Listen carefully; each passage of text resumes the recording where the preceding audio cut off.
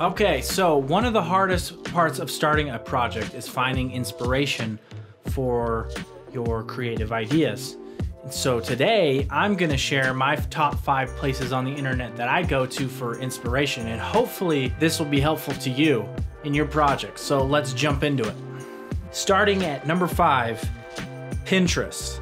Now, if you haven't used Pinterest as a source of inspiration, you've got to start a Pinterest account and start looking. Pinterest search features are so good. You can get really specific and there's just it's just really easy to use.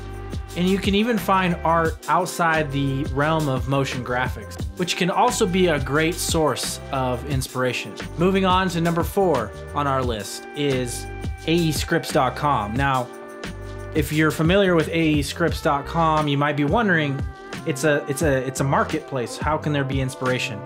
Well, in the Learn tab at the top, in that drop-down menu, there is a inspiration tab. This links to a, a page that has articles and features different artists and it features different plugins. I kind of have a routine before I start working where I check different websites, news sites, and, and such. And this site, uh, aescripts.com, on their inspiration page, is definitely among those that I check every day. So check that one out. Okay, so the next one is designspiration.com. So Designspiration is kind of like Pinterest, except for it's specifically for design. And so what I really love about De- Designspiration is that you're you can go and you can get uh, new ideas that you may not have thought could apply to motion graphics, and it's a great way to kind of uh, break from the pack, uh, as it were, from the motion graphics trends, and kind of and tr- try something new that nobody else is trying.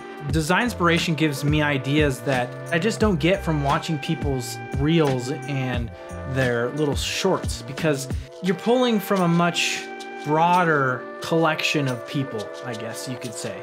Moving on to number two. Okay, so obviously, Instagram is a great place to find and follow people who are the industry leaders. I can recommend some accounts to follow here. And then here are some hashtags that you can follow. It's it's not just a great place to uh, get inspiration, but it's also a great place to learn. There's a lot of really cool short tutorials on Instagram. So check out these hashtags, follow these people. These are people that I follow and that I get a lot of inspiration from. And every time that they post, I'm just so motivated to keep going and to try new things. So, Instagram is a great resource for learning and finding inspiration. Okay, and the final one is one that I think if you're in the motion graphics industry or you want to be in the motion graphics industry, you have got to check this website regularly. Because um, this is the best of the best that are being featured on this website, and it's motionographer.com. Now, motionographer.com is a place where they feature some of the industry's best work, and they they feature a lot of work from from agencies, and they've uh, featured work from Apple and Nike and all these big brands. So, I mean, this is where the industry's best people are. Their work is being featured. You you have to learn from the, the industry's best. So, motionographer.com. It's on the top of my list as a place to go for inspiration and, and motivation, quite honestly.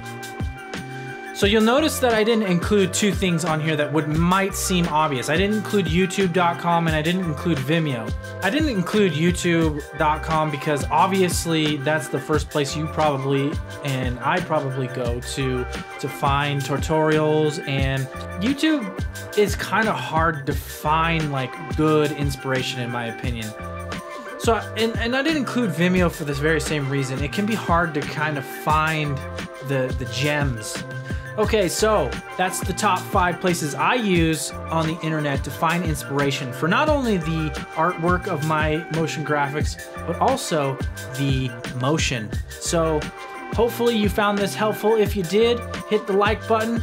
If you have a place that you think could compete with uh, my top five list and I didn't mention it, leave a comment down below, hit the subscribe button, hit the subscribe button, and then uh, hit that bell, the whole spiel, the thing that everybody does. And we'll see you guys in the next video. Thanks.